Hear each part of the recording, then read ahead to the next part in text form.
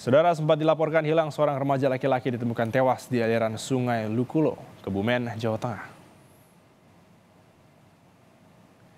Korban ditemukan oleh warga saat hendak mengecek pasir di pinggiran sungai pada Jumat siang. Saya mendapat laporan warga, polisi segera datang ke lokasi dan melakukan olah TKP, serta mengumpulkan sejumlah bukti dan keterangan para saksi. Dari hasil olah TKP, polisi tidak menemukan adanya tanda mencurigakan yang mengarah pada tindak pidana. Jenazah dibawa ke RSUD untuk dilakukan pemeriksaan lebih lanjut.